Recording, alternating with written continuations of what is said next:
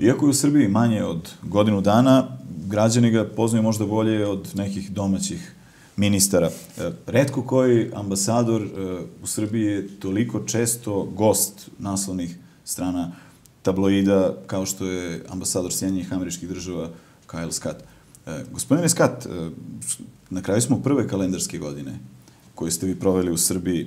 Ovde ste, dakle, skoro godinu dana, a nekoliko puta ste ponovili da su odnosi Srbije i Sjedinih država dobri, osim kada čitate tabloide.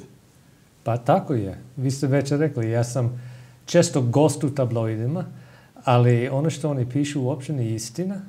A, ja se čudim kad čitam neke stvari. Ja sam počeo da kažem da u stvari tabloidi ima možda 5% istine, 5% posto zavjera i 90% izmišljotina. Ali mislim da sam možda malo i, i prioritirao koliko ima istina. A šta je po vama uzrok tome? Ja mislim da neki ljudi ili imaju mržnju prema Amerike koji se ne promene ili ima neki politički stav koji ne hoće da izrazi. A ja vidim u vašim tabloidima da se upotrebe tabloide kao za, za linč osoba umjesto da informiraju narod. Ja mislim da srpski narod bi trebao da traži bolje od svoje, svoje medije i, i svoje novina. Jer u stvari informisanje javnosti je jedna, jedna valo, važna uloga medija, ali tu u Srbiji ja vidim više, više zavera i manje informacija. Često se kritike koje, ajde da kažemo, kada mediji kritikuju vlast, to se često tumači kao napad na državu. I ne samo mediji, već i civilni sektor. Kako vi gledate na to? Pa ja vidim u stvari da civilni sektor i medije, slobodne medije su kisionak zdrava demokratija. A vlast treba da bude naučena da primi i kritiku. Jer od te kritike u stvari može samo da poboljša vladavanje. Ali često kada mi pričamo sa političarima, mi kao novinari, i oni kažu, ali ne možete da očekujete da nas svi kritikujete, a da mi budemo dobri prema vama. Jel to zvuči logično? Pa ne znam kakva je njihova logika, ali ja, ja mislim, kao što sam rekao, da je, da je slobodna medija u stvari kisionak za, za demokratiju. I čak i oni koji ne vole da bude kritizovani, trebaju da primaju. Oni su bili, oni su političari, oni su došli na vlast tako da vladaju. Ali moraju da očekivati isto da će biti kritike. To je normalno. Napravili ste mi sada dobar uvod za jedno pitanje E, koje nisam planirao. E, u Americi, e, kada pogledate sada, na primjer, biografiju gradonačelnika nekih gradova ili bivših predsednika, u njihovim biografijama piše da su oni he served as a mayor. Znači, on je služio kao gradonačelnik, služio je kao predsednik, dok u biografijama, biografijama političara na Balkanu piše bio je na vlasti od tada do tada. Da li mislite da tu možda postoji neki, da li je to posledica pa, pa ja neću reći šta je tu, ovo je možda jezične pitanje više nego, nego politička pitanja, ali mi smatramo u Americi da javna služba je u stvari nešto koje mi možemo da nudimo našem naredu. Ja sam isto javni službenik u, u, u tom smislu. 35 godina radim za vladu, za svakakvu vladu, i za demokratsku i za republikansku vladu, ali ja, ja to gledam kao dužnost i nešto koje ja vratim mom narodu. Jer vjerovatno u privatnom sektoru ja bi mogao da zaradim više. Ali ovakva odgovornost je meni nešto koje je dobro došla, ali isto je čast da mogu ja da izrazim položaj mog naroda tu u Srbiji. Kada govorimo o odgovornosti, vi ste se obratili e, građanima na skupu povodom dodele nagrade za istraživačko novinarstvo koja je dodeljena ove godine. I tada ste izjavili, citiraću, oni koji zastrašuju ili napadaju novinare podrivaju slobodu izražavanja i slabe demokratiju. Brza osuda važnosti je javna, ali nije dovoljna. I tako dalje. E, kako vi ocenjujete stanje slobode u Srbiji? Rekli ste da su slobodni mediji kiseonik. Ima li kiseonik? Ima kisionik, ima kisionik, ima mogućnosti da izrazi mišljenje, čak ako je to mišljenje protiv vlada. Ali nezavisna institucija, snažen i aktivan civilni sektor, to jeste osnova zdrave demokratije. Ja mislim da može biti još zdravlje. Imamo li mi nezavisne institucije? Imate. Dobro. E, sastali si se sa gradonačelnikom Niša. Jesam. E, često novinari izveštavaju sa tih skupova i kažu dogovoreno je intenziviranje e, neke ekonomske i privredne saradnje. Međutim, kada govorimo o Nišu, mislim da tu možemo da govorimo o nečem konkretnijem. Je li bila Clean Earth Capital, odnosno projekat Novi Niš, da li je bio tema razgovora?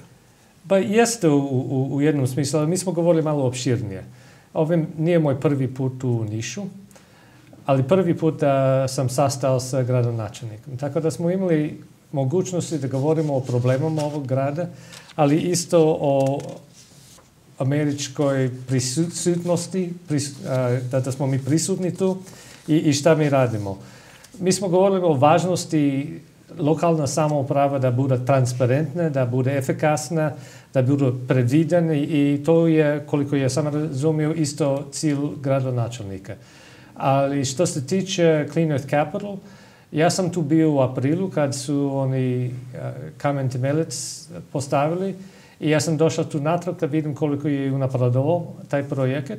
A vidim da već izgrade na terenu, da u stvari ove zgrade prva uh, idu, go, ide gora i ja mislim da je to dobar prvi korak, ali to je veoma, veoma veliki projekat, veoma komplikovan projekat. I ja mislim da, da gospodin Filip B. ima naj, najbolje namjera i mi trebamo samo da se čekamo da vidimo koliko ovaj projekat u stvari promene licu a, Niša. Jer Novi Niš, ja mislim, je takav projekat koji može čak i promijeniti kako izgleda ovaj cijeli grad. I ako je on uspješan, to znači da će privlačiti i drugi investitore tu u, u, u Niš. Preko uh, američke vlade, odnosno preko USAID-a, da budem precizniji, u poslednjih 15. godina uloženo mnogo para u ekonomski razvoj, čak i na lokalnom nivou. E, I mislim, moj utisak je da se tu izdvaja i dalje dosta novca. Često građani pitaju, a šta je interes uopšte američke administracije da uopšte ulože tako novac u stranu zemlju? Ako, ako se smatra na, na velikom polju, naš interes prvo jeste stabilnost u ovom regionu, ali i ekonomski rast u ovom regionu, jer ekonomski rast potvrđuje stabilnost. Američke vlade, američki vojnike su bili povučene tu u Balkan nekoliko puta u prošle stoljeće. I mi bi htjeli da vidimo jedan region koji je stabilna, koji napređuje, modernizuje, a ide prema Evropsku uniju. A naš pomoć tu u Srbiji jeste bazirana na to više od 350 milijuna dolara od naše USAID za ekonomski razvoj. A to ne znači doniramo poklona ili samo financiramo neke projekte. U stvari, mi smo dali novce za obuka preduzetnicima, tako da oni mogu zaposliti bolje, da bude više kompetitivna i u tržištu tu u Srbiji, ali isto na globalnom nivou. E, da li postoji nešto što bi trebalo da se desi, konkretno evo, ako govorimo o jugu Srbije, što bi omogućilo da možda ovde dođe još neka američka kompanija? Ja mislim infrastruktura je prvo bitna, da bude, ako pogledate strane investicije tu u Srbiji, više od 80% je u daljinu od 20 km od autoputa. Tako da, da dobro funkcionišena infrastruktura je važno. Transparentnost pravosude koji funkcioniše, koji oni mogu da imati poverenje da ako ima problema, da ugovor će biti pošten i ako ugovor nije pošten, da mogu da idu sudu i da sud će funkcionistati. Neće da, da će biti 10 godina, 12 godina prije nego dođe do odluke. Ajde sad da, da, ako možete da nam kažete, uh, govorili ste i na univerzitetu u Nišu i neka od pitanja su bila vezana za zapravo tema je bila vezana za izbor novog predsednika Amerike u Srbiji. Često ljudi e, komentarišu, odnosno veliki broj građana je navijao da Trump pobedi. Da li mislite da će se bilo kakva politika prema Srbiji konkretno promeniti sada zbog e, pobede ovog ili nekog drugog kandidata da je pa, To je odlično pitanje, ali ne mogu da odgovorim na to, jer mi smo sad u prilaznom periodu. Imamo dva i pol mjeseca od izbora do dana kada predsjednik Trump će biti naš predsjednik. I on ima u ovom periodu vremena da se organizuje. Što se tiče politika prema Balkanu, u stvari u političkoj kampanji on nije izrazio ništa. Tako da ne možemo očekivati ili ovi ili ono, jer moramo da sačekamo. A, s obzirom da, da njegove prioriteti u spolnoj politici su bili trgovina i, i terorizam, borba protiv terorizma, ja ne vidim da će doći do neke velike promjene u našoj politici u Balkanu. Jer Amerika kao vlada, naša spolna politika ne promijene mnogo od jedna vlada, jedne administracije do druge administracije. Spolna politika je bazirana na, na interese, a naše interese nisu promenili. Može li na poziciju, odnosno odnose e, Srbije i Sjedinjenih država da utiče i dalje, odnosno kako utiče slučaj Bitići? Pa, naravno da slučaj Bitići komplikuje situaciju da je opterećenje naših odnosa. Isto slučaj da su neki ljudi zapalili našu ambasadu i još nisu dobili nikakvu pravu kaznu za to. Ali to je veći slučaj, ja mislim, za, za, za Srbiju. Nije to samo pitanje bitići ili pitanje naše ambasade, to je pitanje pravosuđa. Kako isto druge slučajeve, sad je u, u, u vestima svaki dan pitanje o ubistvu nekih vojnika iz 2004. godina. Tako da, ovi slučajeve koji nisu rešene i koji traju već godinama, godinama, pa to nije fair ni obitelji tih žrtava, niti ne izrazi najbolje na Srbiju. Tako da mi očekujemo od Srbije da pravosuđe funkcioniše i da bude pravdi isto za obitelji Batići. E, stvar koja se ne tiče sudova, ali se tiče verovatno politike, je odnos Beograda i Moskve. Kako vi vidite? Imamo i slučaj e, Ruskog centra u Nišu za koji, navodno, ruska administracija traži diplomatski status. Kako vi vidite tu situaciju? Ba, ja vidim ovu situaciju prvo da to zavisi od Srbije da odluči šta hoće i kakva će biti njihova njezina odnosi i sa Rusijom, e, i sa Evropskom unijom, i sa Kinom, i sa Amerikom.